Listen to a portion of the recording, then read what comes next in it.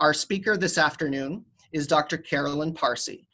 Carolyn is a neuropsychologist at the University of Washington's Medicine's Memory and Brain Wellness Center and an assistant professor for the School of Medicine. With that, I will turn it over to Carolyn. Thank you very much. And I will bring up my slides for you here. All right. Everyone see that okay? Looks good? Fantastic. Uh, thank you for joining me uh, today, everyone, for uh, the sounds like the first uh, virtual event, which is exciting, and what a appropriate topic for today. Then, so I will be talking today about technology for memory loss and daily living, and in the context of this talk, we'll be using some of that technology to give you this information.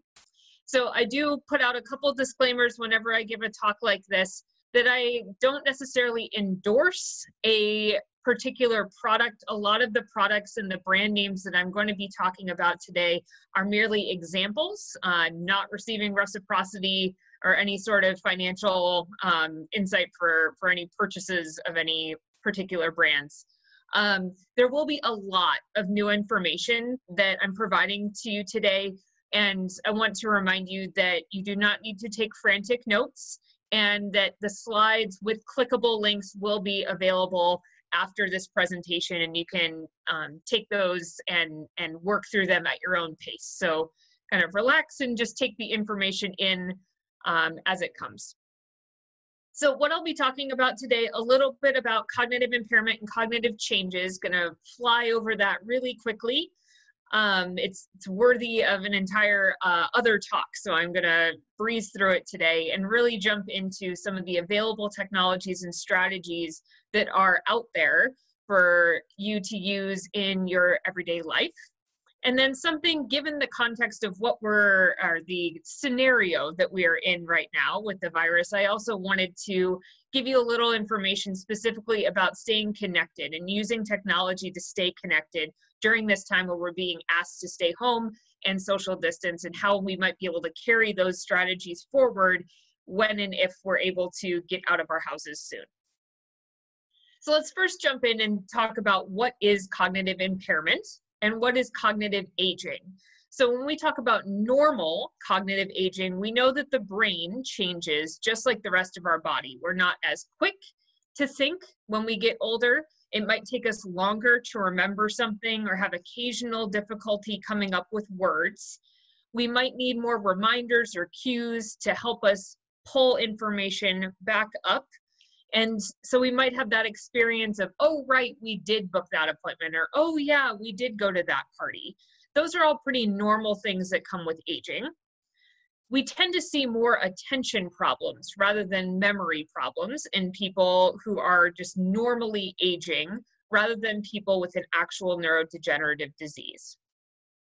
So this is what that looks like on an aging timeline. So we see that normal aging represents this green arrow, these two green arrows, where we see some slight cognitive changes over time. Where we don't see normal things is more on the blue lines, and the blue then leads to red. So we see mild cognitive impairment, or MCI, is kind of this gray area, a little bit of a gray zone of where cognitive changes are a little bit worse than we would expect for normal aging, but they're not impacting daily functioning. And then there's dementia, which is further down on this bar, and that suggests where cognitive challenges are actually impacting our ability to do things independently. So, things like driving, managing medications, finances, things of that sort.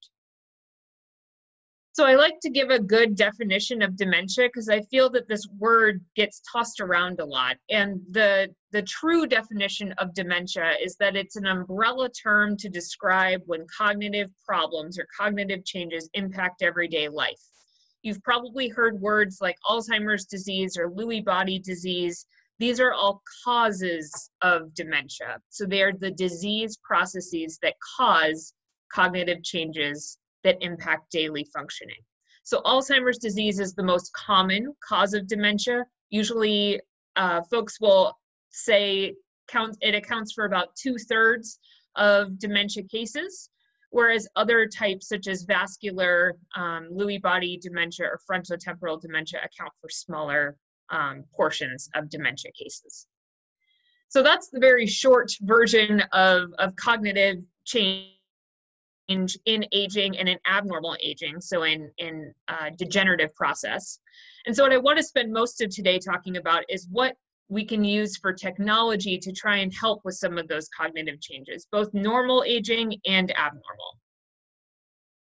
So first, I want to just start with the most low-tech or even non-tech version um, of some of these strategies which includes things like a whiteboard of something that is in a place where you will see it often.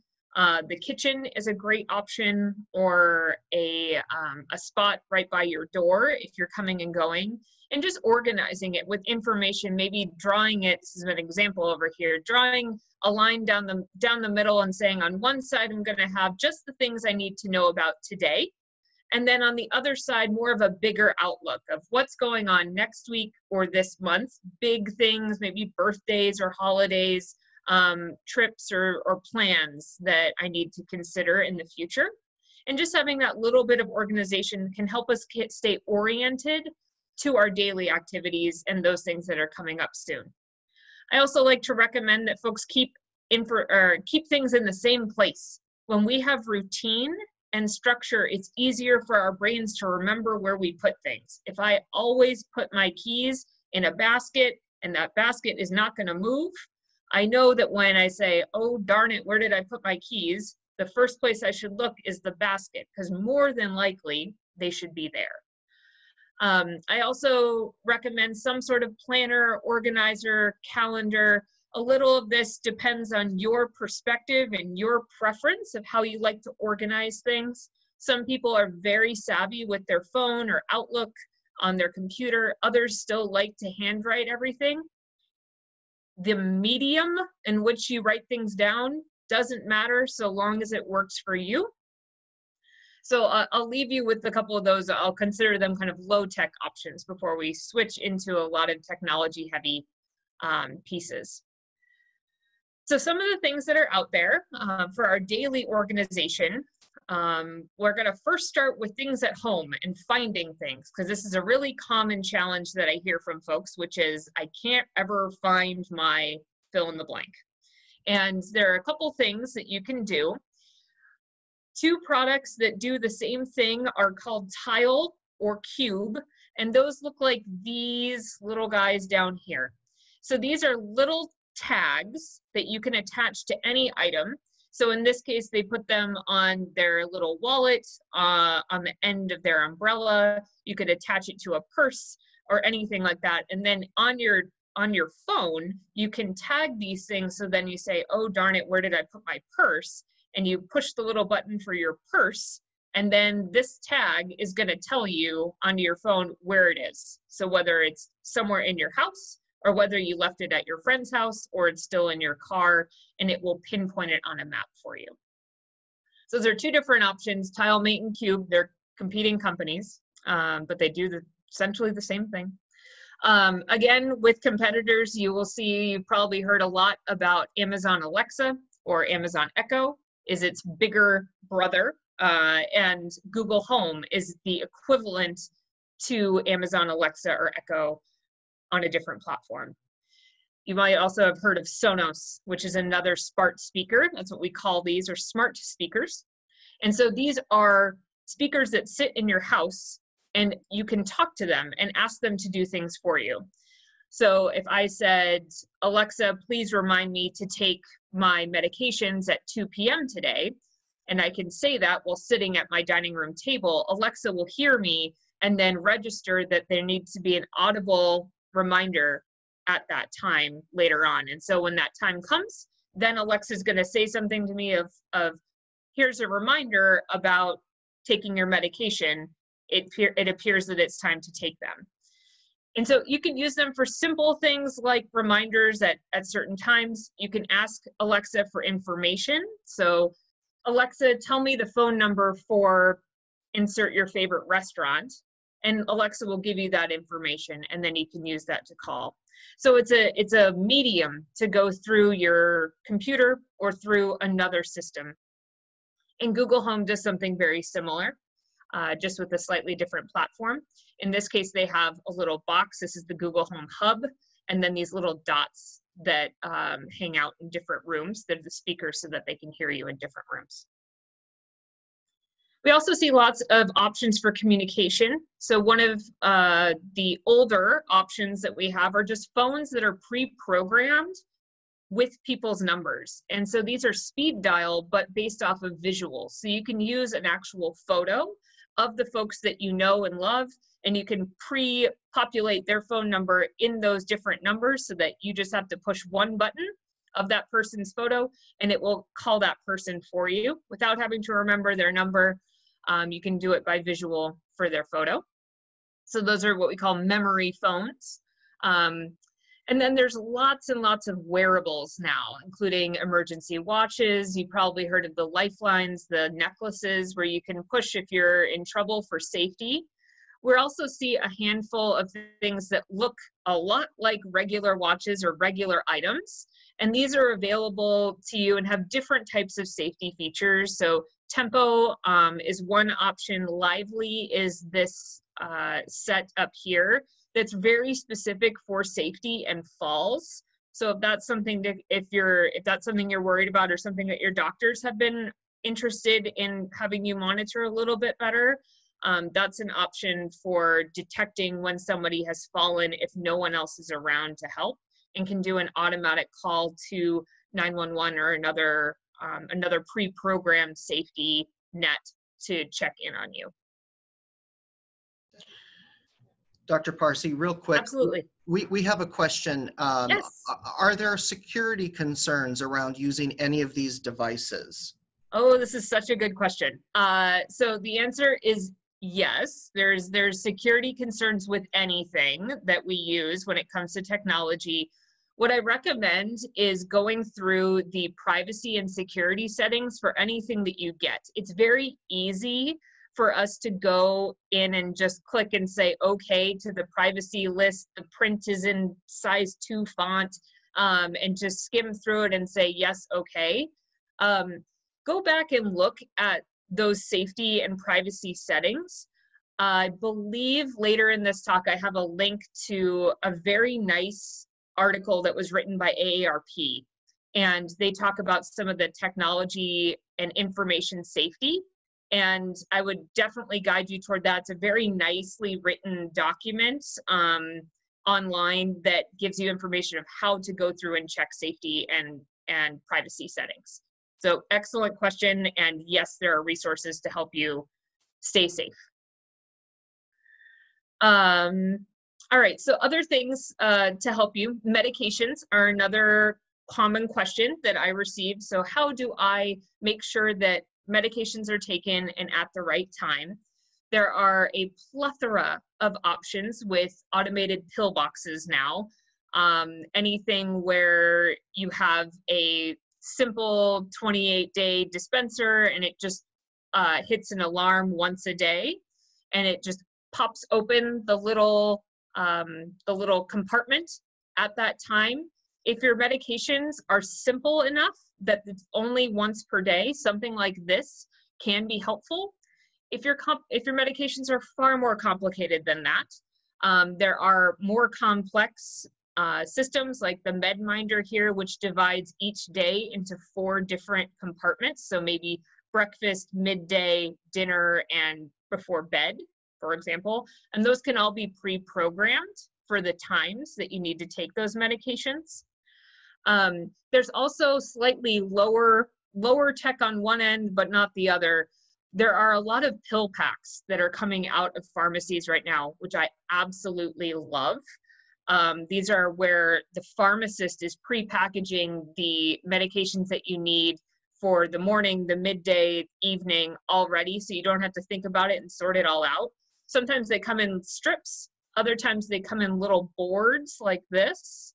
And now there are programs for your phone that can tie these two pieces together. So it'll have a uh, some sort of an app on your phone where you can get the reminders and then it will look exactly like the actual card on the phone versus on your actual medication. So you can color code and look to where the right color and the right day to make sure you're taking the right medications. So it's something to ask your pharmacist about because it's going to vary depending on your insurance and where you get your medications. There's also some other things that you can do. Um, these are a bit uh, kind of depending upon how you get your meds, um, but there are prescription timer caps where it's just a timer on top of the actual bottle and it's a countdown for how long it's been since you previously took your medication. So if you have to take your medication every eight hours, it's an option where it will just do a countdown for the time interval that you need in between. We also have options that are just reminder systems that are similar to an Alexa or a smart speaker that just give you reminders that can be recorded by a family member rather than, or yourself, uh, rather than um, a smart speaker voice, so a Siri or an Alexa. There are a handful of options for GPS, so navigation and wandering can become a challenge later in life. Uh, we like things that don't have to be remember. You don't have to remember to take them with you, because uh, half the challenge sometimes is I leave my house, but I don't have the thing that will help me when I get lost. So things that you don't have to take with you or remember are even better. So we like things like the pocket finder. Uh, this is something that can attach to your key ring. It can attach to your purse or a wallet, and it's always going to be attached to that thing unless you actively take it off.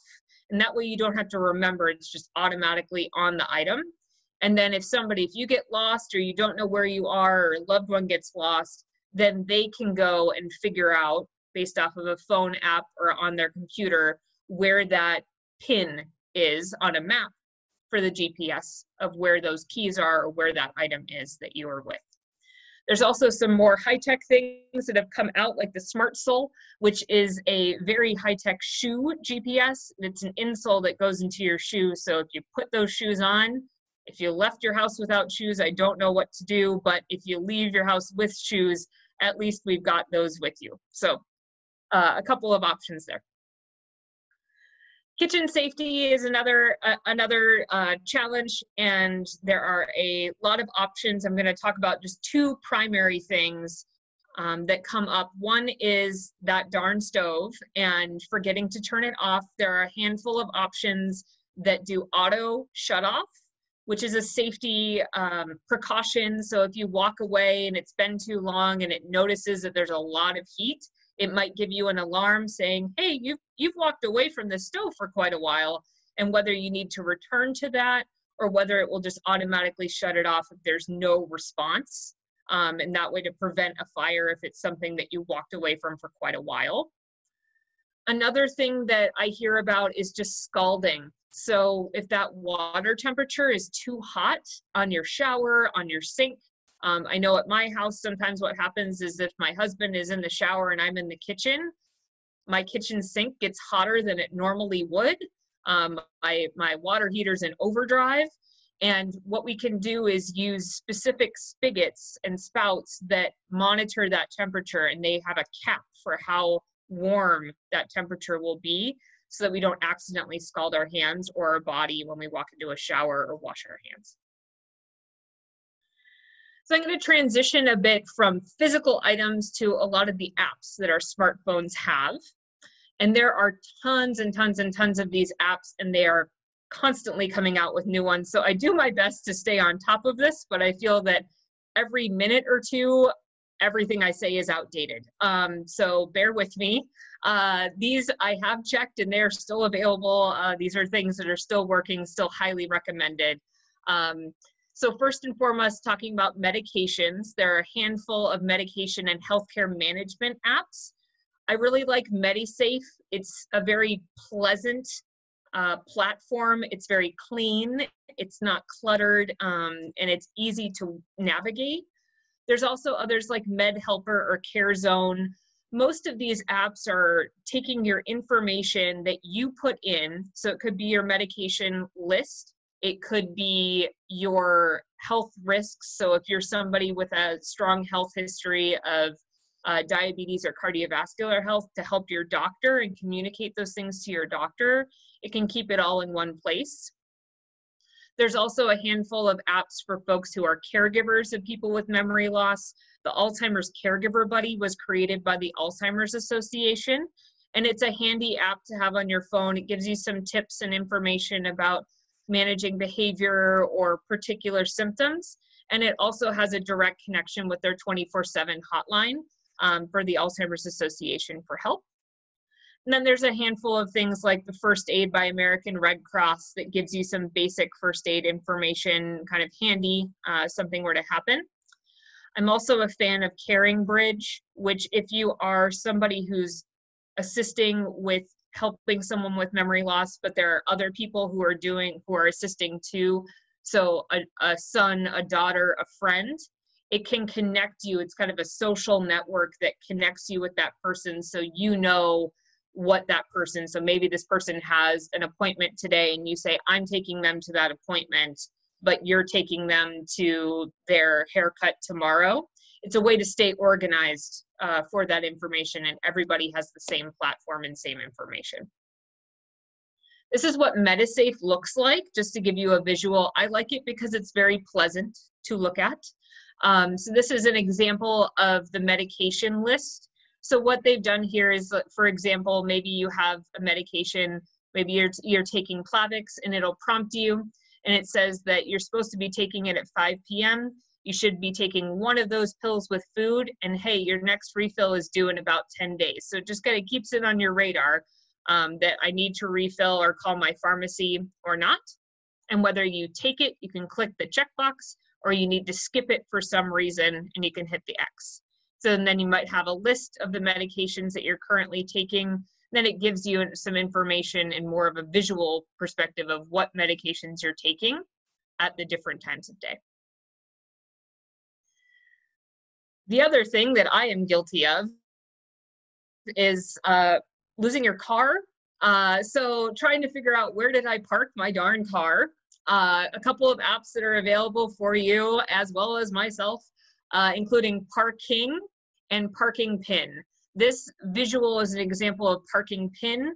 So if you're driving in downtown Seattle and all this all the one-way streets look the same, you can drop a pin once you park your car and it will save where you've parked your car so that when you go and you wander Pike Place Market and you go to the museum and whatnot, then five, six, ten hours later, you say, oh, darn it, where's my car? You can look at your app and say, ah, it's here. And then you can follow the path that it gives you so that you go to the right location and find it later.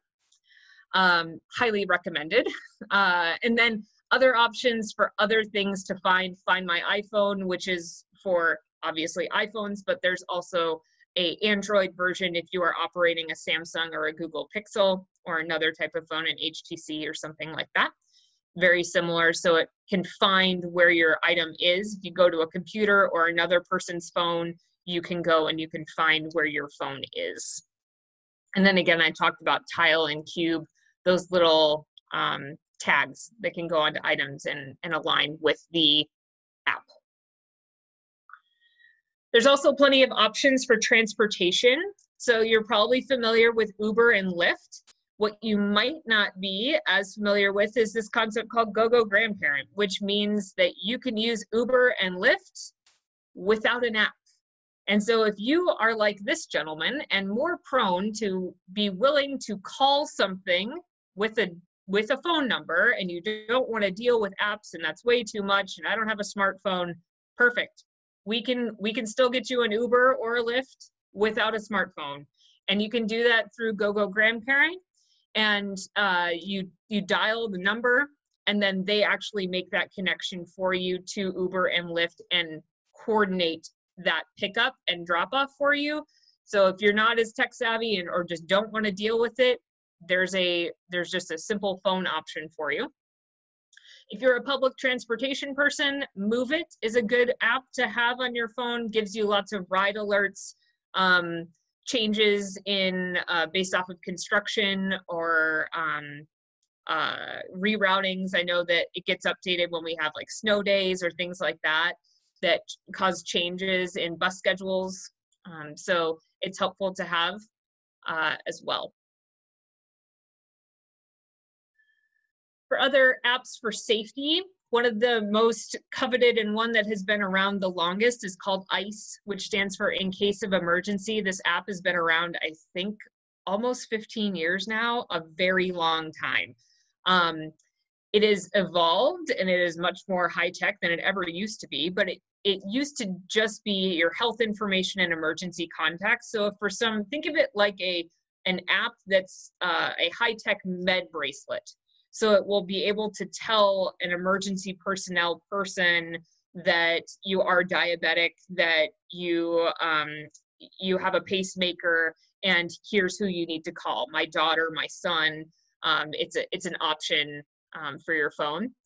There are also a couple of GPS options. Life 360 is um, this guy over here, and it's a way to keep track of everyone in your family this became really popular with kids and and parents who are having their kids walk to school and just making sure that they get you know the mile and a half to school or whatnot. Um, so you just need everybody in your family to download the same app and you connect them and then you can figure out where everybody is. So if someone's headed off to go to dinner another person's headed off golfing i can make sure that everybody gets to the right spot can be really nice for caregivers or loved ones who are in um, another city or another state, um, just so they can be assistive uh, in any sort of emergency. There are a handful of options for fall detection. I talked about a couple of the safety features um, that are for wearables. Now Apple and on Apple Watches actually has a fall detection um, device where it uses the accelerometer to determine if you have fallen very quickly, and if you if you do, you have an emergency of just oh my gosh, I need help, and I you know I can't get up, I can't call someone myself, and you have an option, or I fell but I am okay, and so I don't need the emergency um, call so that's all stuff for for kind of everyday uh, activities. I also want to acknowledge that technology can use, be used for leisure and this is something that has come up a lot more in the context of the past couple months. Um, so i wanted to give you some options for things you can do from home to stay engaged cognitively socially things like that too. Uh, leave you on some positive notes as well. So lots of classes are being offered right now, either at free or at discount, as a result of all of us staying home and trying to promote us doing more. So, the University of Washington has the Osher Lifelong Learning Institute. They offer a variety of classes for folks 50 and above. Um, the Seattle community colleges, both at cent- all at Central, North, and South campuses, are all offering community education either virtually or uh, in anticipation of being able to be open um, soon. I'll just say soon, I hope. Uh, and then Seattle Parks and Recreation has an incredible lifelong recreation program. Uh, they've recently opened an LGBTQ specific um, recreation called Rainbow Recreation um, in collaboration with the Agewell group as well. There are also lots of free things you can do from home. Lots of free courses are available online. One of my absolute favorites classes that has been offered and still one of the most popular classes on this platform called Coursera is the science of well-being. This was put on by Yale University. It's available all the time. You can log in, you can do it at your leisure. You can do half an hour, walk away for a week, do another half hour. You can do five hours in a row. It's all up to you. It's all free, my favorite price. And Coursera is has lots and lots of different options. So you can do classes on art, you can do things on computers, you can do things on literature, and they're all taught by actual professors at universities. There's always an option to pay for a certificate skip it. You don't need that. Just take the free class. It's like an audit, um, and it is an option. You're not skating out of anything. Um, edX is a similar platform. I just have less familiarity. I've been using Coursera for my own interests um, for 10, 15 years now. Um, Harvard University also does something similar. And then something also that has become really big in the past couple months are virtual tours for museums and arts, symphonies. This is really exciting. Uh, so these are a handful of options that are available. I'll remind you that don't worry about writing all of this down. We can get you the links later. These are all active links um, to get you to different virtual museums, both within the US and overseas. So there's within, especially within Google Arts and Culture um, website, they've done and taken these 3D videos and, and navigation through different museums. The Louvre is on there, the Museum d'Orsay, um, the National History Museum, and then a handful of music groups as well have been putting on free concerts or hosted live events or um, uh, content that is just static that is staying on their website different uh, philharmonics and operas. So check those out as well. And then a handful of online concerts. NPR has been ma- managing this online concert list. Just about every couple of days they just keep adding more and more to this growing list. So it's this evolving document as artists are coming out and saying i'm i'm willing to do a free concert. Here's how to access it. So good stuff as the daughter of a librarian, it would be terrible for me to not tell you about your local library. Um, I am a big fan of the library and what it has been doing lately, um, not just the ebooks, audiobooks, digital magazines, all the stuff that you would expect, but other things. And they've gotten really creative. The librarians, at least at Seattle Public Library and King County Library Services, have been doing podcasts, lots of interviews with um, local and uh, international artists and um, authors and poets and so you can listen to those um, podcasts, which is just like an interview, an online interview. You don't need any fancy um, equipment for it. You just click the little link and you can listen. There's online book clubs that you can join if that's something that you enjoy, kind of has that good social connection with it.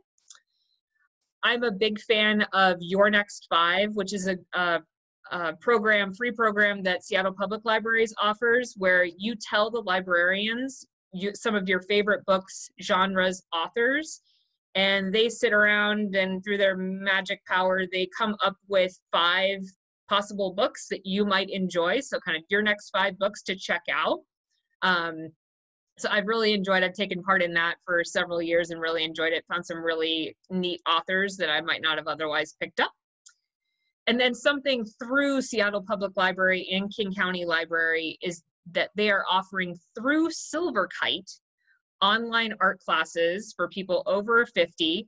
You go to the Seattle Public Library or King County Library Service, either one, and you go through their website. They have the link to it and it'll get you in. They're doing a class every day uh, in the afternoon, which is kind of like a follow along. They've been doing drawing, painting, um, more like origami and paper arts.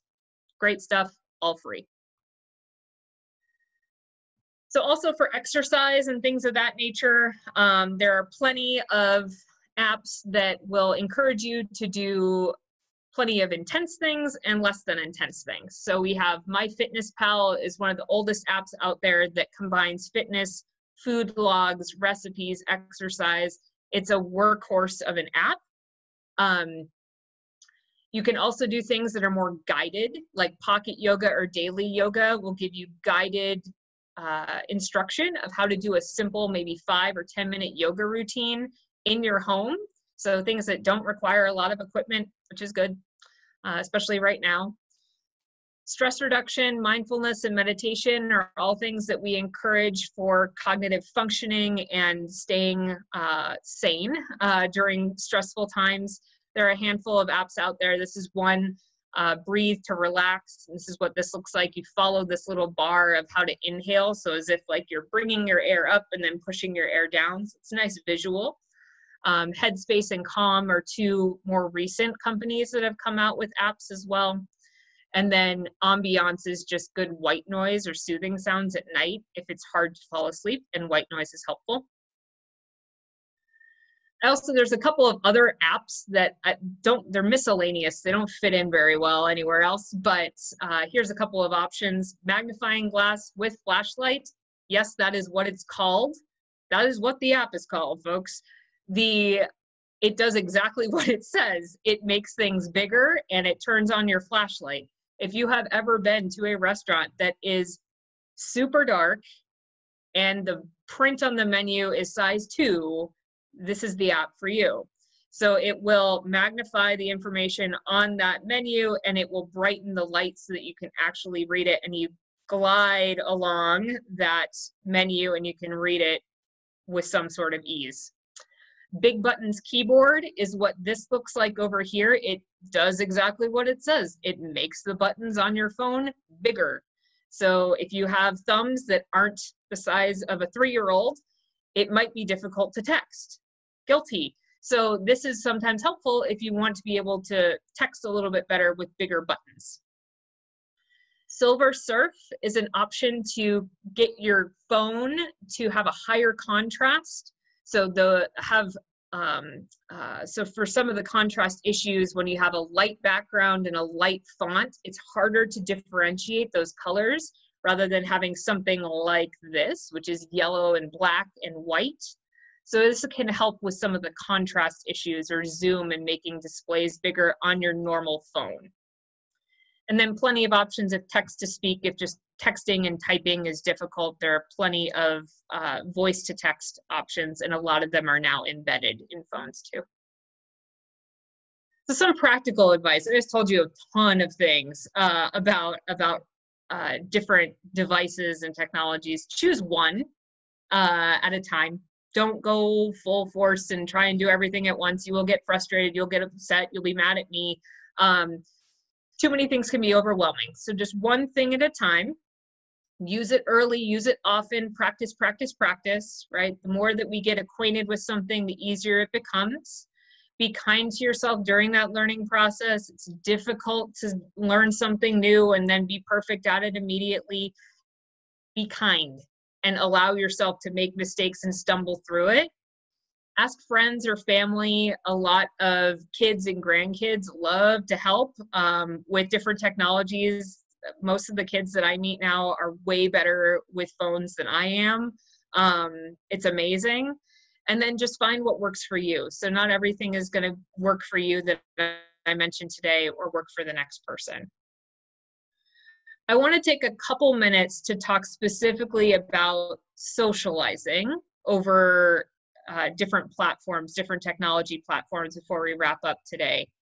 So you've probably seen a lot of the video call platforms. We're on one right now called Zoom. There, if you're an iPhone user, you have FaceTime.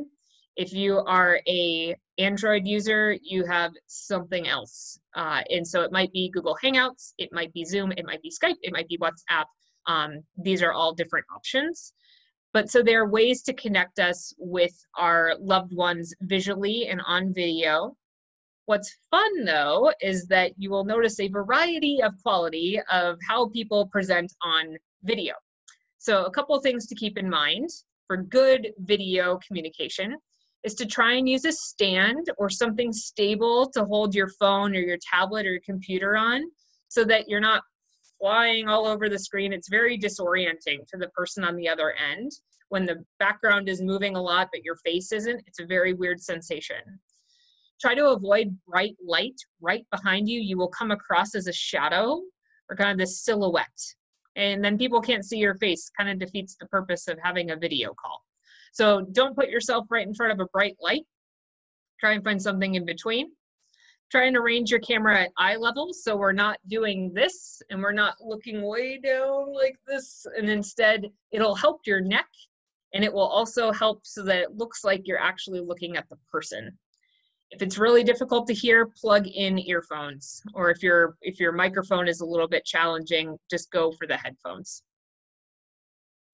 You can now do a lot more than just talk on these different platforms. You can read stories you can play games Um, there are lots of authors who have been doing online book reads for kids, but you can also volunteer to do this and actually record yourself doing a book and then they can share you can share them.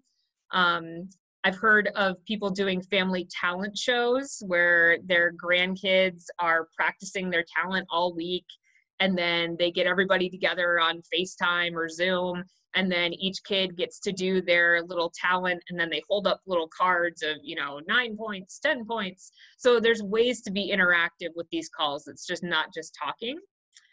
Um, I love the idea of gratitude practice and being grateful for things that um, might go otherwise kind of unnoticed.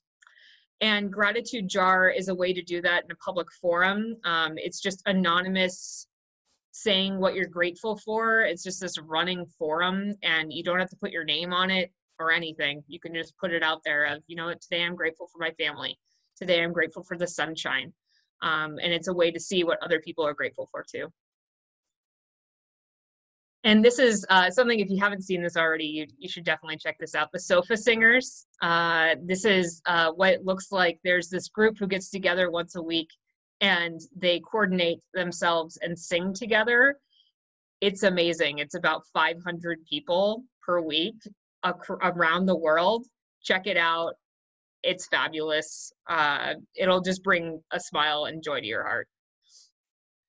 Um, lots of other group activities too. Netflix Party came out about a month ago where you can watch a movie with someone else. So it's happening at the same time. If I have Netflix and my friend down the street has Netflix, we can sync so that we're both watching the same movie and it's kind of like we're hanging out or as much as we can because um, we're watching the movie in real time together. Watch Together is similar, but it's for YouTube videos or online content rather than Netflix. If you have grandkids, Caribu is this app down here.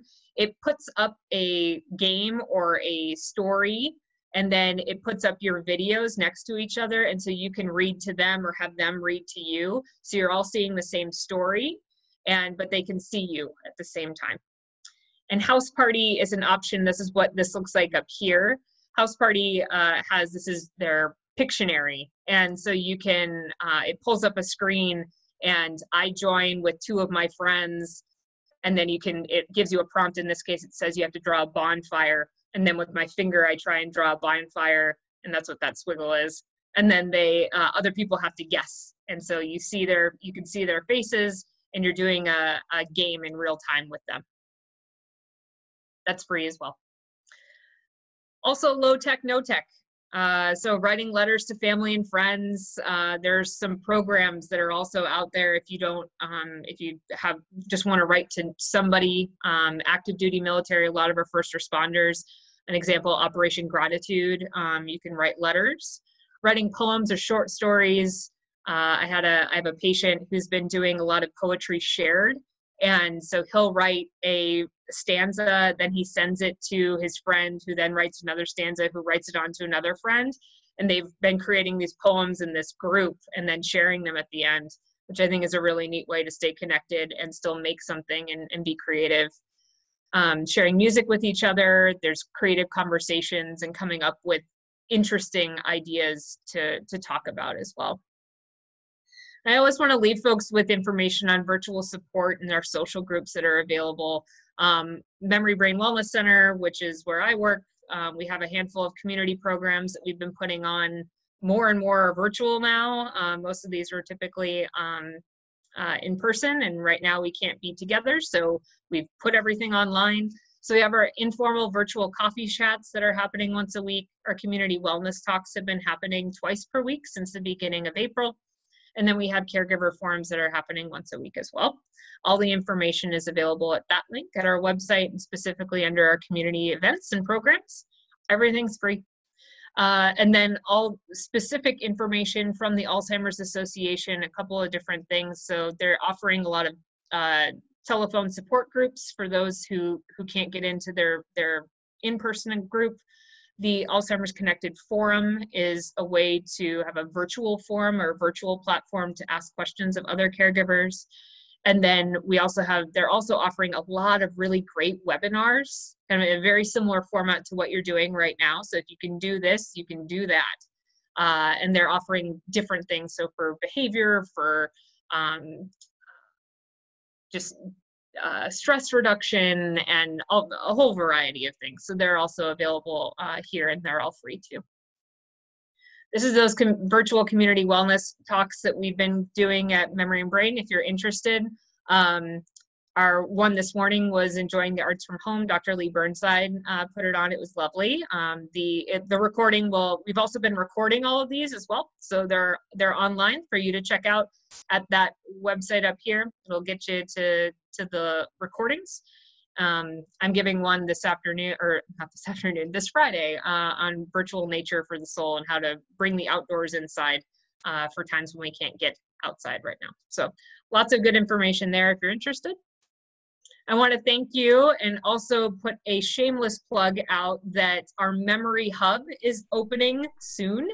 And uh, this is our construction has been a little bit delayed, but we are hoping to open end of summer or early fall.